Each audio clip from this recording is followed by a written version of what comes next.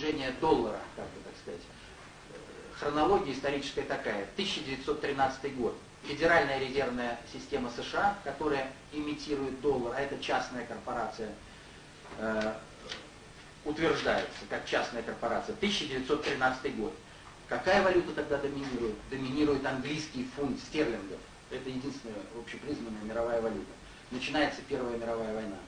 На территории воюющих стран валюты проваливаются, доллар приподнимается, и он начинает на равных конкурировать с другими валютами, устанавливается некий такой паритет и баланс валют. Вторая мировая война, 1941 год в России, да, э, и на территории всех воюющих держав валюты воюющих держав опускаются. Единственная не воюющая страна Соединенные Штаты. Вторая мировая война, для тех, кто ее заказал и организовал, закончилась в 1944 году, когда было принято Бреттон-Вудское соглашение.